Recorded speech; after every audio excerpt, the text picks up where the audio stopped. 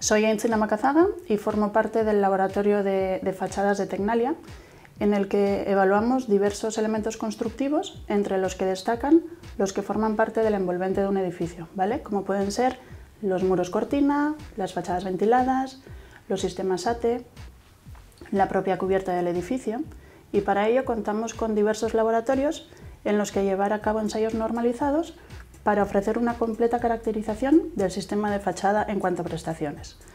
Esos servicios pueden ser comprobar su comportamiento frente a la intemperie, su resistencia a impacto, su comportamiento frente al fuego, aislamiento térmico, acústico, pero además de los ensayos en laboratorio, tenemos capacidades para llevar a cabo ensayos in situ y comprobar la correcta colocación del elemento en obra. Y también podemos redactar protocolos de ensayo a medida para sistemas de fachada de obras singulares. Nuestros clientes son fabricantes a los que ayudamos a verificar que su producto cumple con los requisitos establecidos, pero también constructoras, estudios de arquitectura, ingenierías, instaladores, promotoras a las que mm, asesoramos en la correcta prescripción de lo que hay que pedir a una fachada en obra.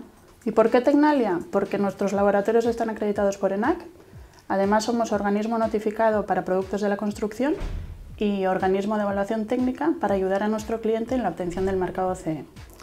Además, tenemos una amplia experiencia en cuanto al manejo de normativa se refiere, tanto europeo como internacional, como normas EN, ISO, ASTM, UL, CWCT.